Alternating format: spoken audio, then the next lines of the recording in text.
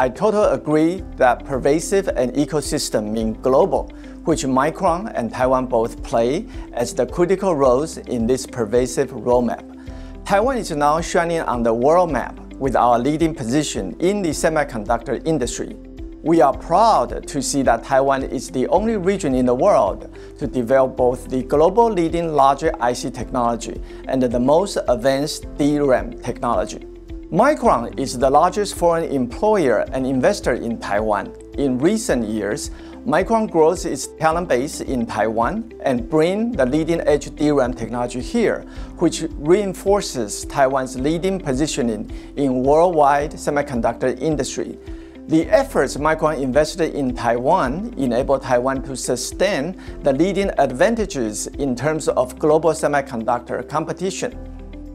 Over the years, with the encouragement of Industrial Development Bureau (IDB), Ministry of Economic Affairs (MOEA), Micron has built up the comprehensive production capacity, not only focusing on manufacturing and supply chain engagement.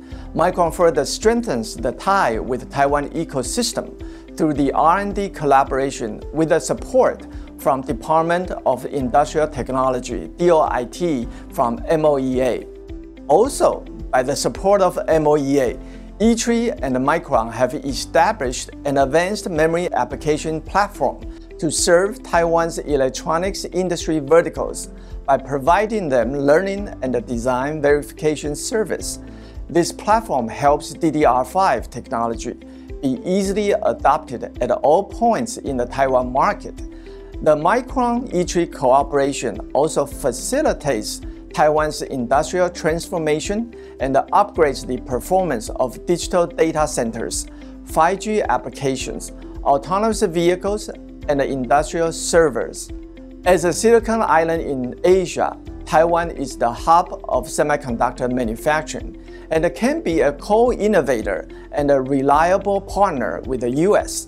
With a strong talent pool and a well-established ecosystem, Taiwan is able to continue the leadership positioning in worldwide semiconductor competition.